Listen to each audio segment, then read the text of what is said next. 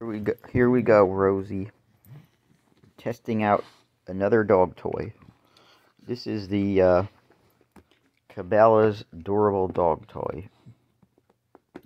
Squeak Me, it says. Supposed to be durable play toy.